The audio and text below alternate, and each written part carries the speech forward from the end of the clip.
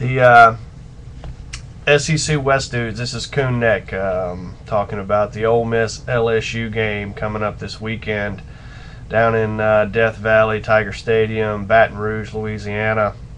Um, not many good things to say coming from the Ole Miss side.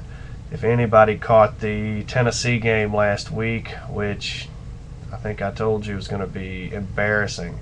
It was. It was. Uh, didn't even watch the second half. It was ridiculous. Um, the uh, quarterback prodigy Masoli. You know, you've had ten games to get your ass in gear, and you haven't done it. So, you know, I've been giving you the benefit of the doubt, saying receivers have been dropping the ball, and you know, you're putting it right where it needs to be. Which you know, most of the time that's the case. But you know, if you're not gelling with your team by now, you're not going to gel. Sorry, dude. Great experiment. It didn't work.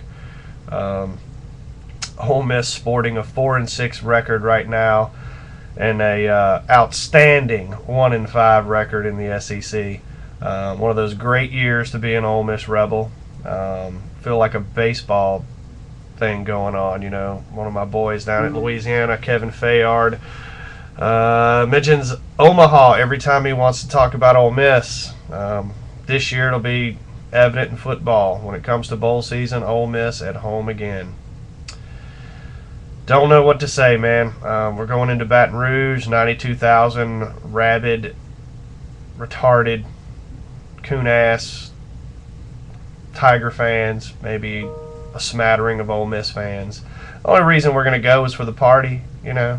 Uh, it's a great place to go. Uh, I hope to get down there just to eat all of Kevin's food because uh, he's a hell of a chef. You know, great things that on the menu. Very hospitable when it comes to tailgating, but when it comes down to kickoff, you better get your Ole Miss gear away from the LSU people because they're all serious. They're sporting a 10 and 1 record.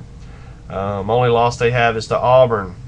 Uh, I don't know if LSU fans have I don't know, wishful thinking that Cam Newton's going to be disqualified and Auburn's going to have to give up that game. That way LSU's undefeated and then they go to the Dome in Georgia, try to win the SEC championship versus South Carolina. But you know that's that's Willy Wonka stuff right now. Not going to happen. Um, so LSU just looking to uh, knock Ole Miss off. You know, after losing what four of the last five, I think LSU has lost to Ole Miss. So you know, it's cyclical. Everything comes around. It goes around, I guess. It just sucks to be an Ole Miss guy. So I know you expected me to. All right, yeah, go Rebels! We're gonna beat LSU. Not happen. Sorry. So my prediction this week: Ole Miss goes to Baton Rouge. Uh, they pretty much get scared to death, and they show their ass like they have all season. And I say LSU is going to put 40 points on the Rebels, and I think Ole Miss is going to possibly get maybe 10 points. 42 to 10, LSU will beat Ole Miss. Ole Miss will move to four and seven on the year, and they get ready for the Egg Bowl.